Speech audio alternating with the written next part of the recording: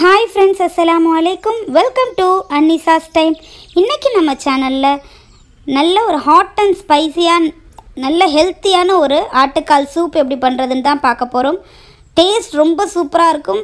இதோட ப்ரிப்பரேஷன் பார்த்திங்கன்னா ரொம்ப ஈஸியாக தான் இருக்கும். குயிக்காக செஞ்சிடலாம். பட் வந்து ஆட்டுக்கால் வேக வைக்கிறதுக்கு தான் டைம் எடுக்குமே தவிர நம்ம செய்கிற மெத்தட் பார்த்திங்கன்னா ரொம்ப சிம்பிள் தான்.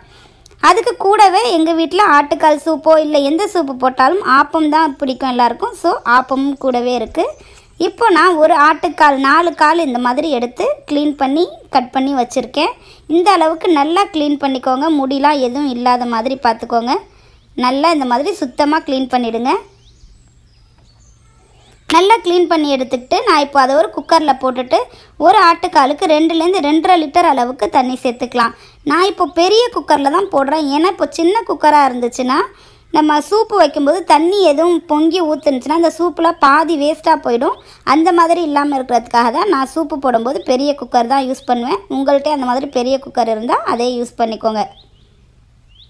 இதில் இப்போது ஒரு ரெண்டரை லிட்டர் அளவுக்கு தண்ணி சேர்த்துக்கிறேன்.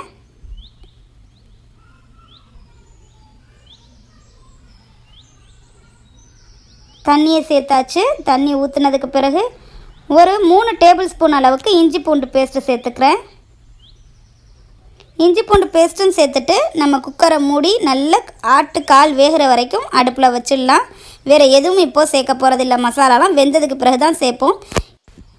வேக வச்சதுக்கு பிறகு எனக்கு சரியாக முக்கால் மணி நேரத்துலேருந்து ஒரு மணி நேரம் வரைக்கும் ஆச்சு இந்த ஆட்டுக்கால் நல்லா வெந்து வரத்துக்கு. ஆட்டுக்கால் நல்லா வெந்திருந்தால் தான் நல்லாயிருக்கும். ஸோ ஒரு மணி நேரம் வரைக்கும் வேக வச்சுக்கோங்க. இது என்னன்னு பார்த்தீங்கன்னா ஓட்ஸு. ஓட்ஸில் ஒரு ரெண்டு டேபிள் ஸ்பூன் அளவுக்கு இந்த மாதிரி ஒரு பவுலில் போட்டுட்டு கொஞ்சமாக தண்ணி ஊற்றி ஊற வச்சுக்கலாம். இது என்னன்னு பார்த்தா இந்த ஓட்ஸு வந்து நாங்கள் அந்த ஆட்டுக்கால்லாம் வெந்ததுக்கு பிறகு மசாலாலாம் சேர்க்கும்போது இதை வந்து ஊற வச்ச ஓட்ஸை வந்து நாங்கள் அந்த சூப்பில் சேர்த்துருவோம். இந்த மாதிரி தான் எங்கள் வீட்டில் சேர்த்து செய்வோம். இது வந்து இந்த சூப்புக்கு வந்து ஒரு நல்ல ஒரு கன்சிஸ்டன்சி கொடுக்குன்னே சொல்லலாம்.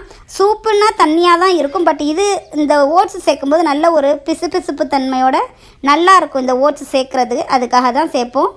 ஸோ நீங்களும் அந்த மாதிரி ஓட்ஸை ஊற வச்சுட்டு எல்லாம் வெந்ததுக்கு பிறகு சேர்த்துக்கலாம். இப்போது சரியாக ஒரு மணி நேரம் கழித்து நான் திறந்து பார்க்குறேன். ஆட்டுக்கால் நல்லா வெந்திருந்துச்சு. நீங்கள் அதை மாதிரி நல்லா வெந்துருச்சான்னு டெஸ்ட் பண்ணிவிட்டு அதுக்கப்புறம் தான் நம்ம மசாலாலாம் சேர்க்கணும். ஆட்டுக்கால் நல்லா வேகிறதுக்கு முன்னாடி சேர்த்துறாதீங்க. உங்களுக்கு பார்த்தாவே தெரியும் நல்லா கொல கொலன்னு நல்லா வெந்து வந்துருச்சு. இப்போது இதுக்குள்ளே மசாலாலாம் பார்த்துக்கலாம். அதுக்கு நான் ஒரு வெங்காயம் இந்த மாதிரி ஒரு பெரிய வெங்காயம் கட் பண்ணி வச்சுருக்கேன். மூணு மீடியம் சைஸ் தக்காளி கட் பண்ணி வச்சுருக்கேன். ரெண்டு பச்சை மிளகாய் இது மூணையும் இப்போது அந்த சூப்பில் சேர்த்துக்கலாம்.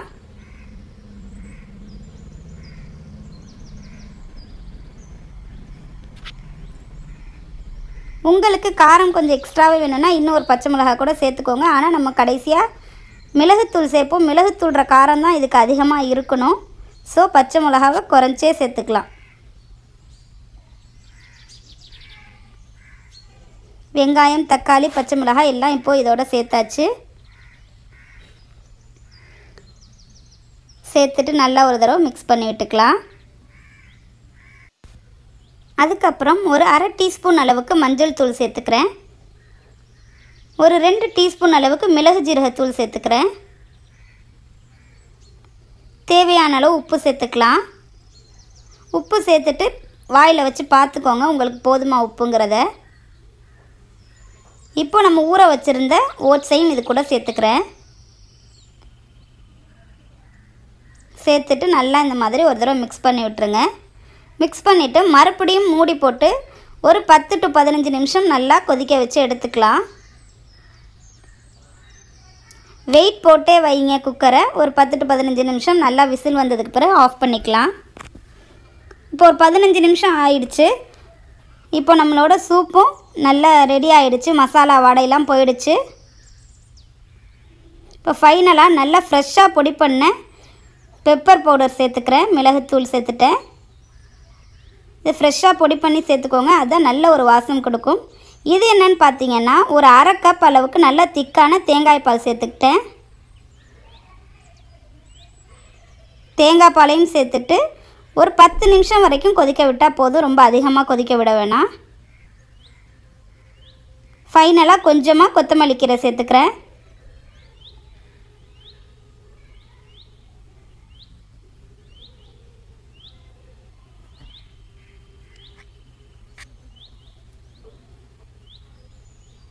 அவ்வளோதான் கொத்தமல்லி கீரையும் சேர்த்தாச்சு.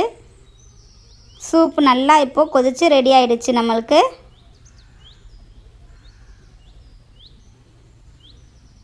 டேஸ்ட்டு ரொம்ப நல்லாயிருக்கும் அடுப்பு ஆஃப் பண்ணுறதுக்கு முன்னாடி மறுபடியும் ஒரு தடவை உப்பு செக் பண்ணிக்கிறேன். உப்பு கொஞ்சம் கம்மியாக தெரிஞ்ச மாதிரி இருந்துச்சுன்னா கொஞ்சமாக உப்பு சேர்த்துக்கோங்க. நீங்கள் வாயில் வச்சு பார்க்கும்போது உங்களுக்கு டேஸ்ட்டு கொஞ்சம் கடுத்த மாதிரி தெரிஞ்சிச்சு அப்படிங்கிற மாதிரி இருந்துச்சுன்னா எக்ஸ்ட்ராவாக நீங்கள் ஒரு தக்காளி கூட அரைச்சிட்டு சேர்த்துட்டு நல்லா கொதிக்க வச்சுங்க. சூப்பை இப்போ அதுக்கான தாளிப்பு பார்த்துக்கலாம். ஒரு ஃப்ரை பேனில் ஒரு ரெண்டு டேபிள் ஸ்பூன் அளவுக்கு ஆயில் சேர்த்துட்டு ஒரு துண்டு பட்டை மூணு கிராம்பு மூணு ஏலக்காய் சேர்த்துருக்கேன். சேர்த்துட்டு ஒரு பெரிய வெங்காயம் ஒரு மீடியம் சைஸ் வெங்காயமாக எடுத்துக்கோங்க. இந்த மாதிரி கட் பண்ணி சேர்த்துக்கோங்க. அதையும் சேர்த்துட்டு ஒரு டீஸ்பூன் அளவுக்கு பெருஞ்சீரகம் சேர்த்துக்கிறேன். பெருஞ்சீரகம் தூள் சேர்த்துக்கிறேன். அதையும் சேர்த்து நல்லா வறுத்து விட்டுருங்க. அந்த வெங்காயம் நல்ல ஒரு கோல்டன் ப்ரௌன் வர வரைக்கும்.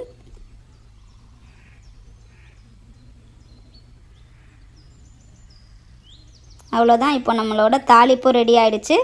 அதையும் இப்போது சூப்போடு சேர்த்துக்கலாம். அவ்வளோதான் நம்மளோட ஆட்டுக்கால் சூப் நல்ல சூப்பராக ரெடி ஆயிடுச்சு. நல்ல சூடான ஆப்பத்தோட சூப்பு வச்சு சாப்பிடும்போது ரொம்ப டேஸ்ட்டாக இருக்கும். இந்த ஆப்பம் எப்படி ஈஸியாக மாவு அரைச்சி சுடுறது அப்படிங்கிறத நான் ஒரு வீடியோ போட்டிருக்கேன் ஆல்ரெடி நான் உங்களுக்கு லிங்க் வேணும்னா டிஸ்கிரிப்ஷனில் கொடுக்குறேன். செக் பண்ணிக்கோங்க. ஆப்பம் வித் ஆட்டுக்கால் சூப் காம்பினேஷன் ரொம்ப நல்லாயிருக்கும் நீங்களும் ட்ரை பண்ணி பாருங்கள் ட்ரை பண்ணி பார்த்துட்டு எப்படி இருந்துச்சுன்னு கமெண்ட்டில் சொல்லுங்கள் உங்களுக்கு ரொம்ப பிடிச்சிருந்தா உங்கள் ஃப்ரெண்ட்ஸ் அண்ட் ஃபேமிலிக்கும் ஷேர் பண்ணிக்கோங்க. பாருங்கள் நம்ம அந்த ஆட்டுக்கால் சூப் எடுத்து ஊற்றும் போதே எவ்வளோ கொலகொலன்னு கா பார்க்கும்போதே தெரியும் அவ்வளோ சூப்பராக வெந்திருந்துச்சு. நல்ல ஆட்டுக்கால் வெந்ததுக்கு பிறகு எல்லா மசாலாவும் சேருங்க முந்தியே சேர்த்துறாதீங்க. வேகலைன்னா மறுபடியும் அடுப்பில் வச்சு வெந்து வந்ததுக்கு பிறகு சேர்த்துக்கோங்க.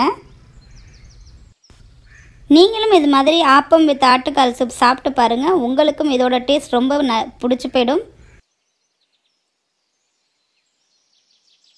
இந்த வீடியோ உங்களுக்கு பிடிச்சிருந்துச்சுன்னா லைக் பண்ணுங்க கமெண்ட் பண்ணுங்க ஷேர் பண்ணுங்க. இதே மாதிரி புது வீடியோஸ் பார்க்கணுன்னா அனிசாஸ் டைமை சப்ஸ்கிரைப் பண்ணி பெல் ஐக்கான அமைச்சிருங்க. தேங்க்ஸ் ஃபார் வாட்சிங்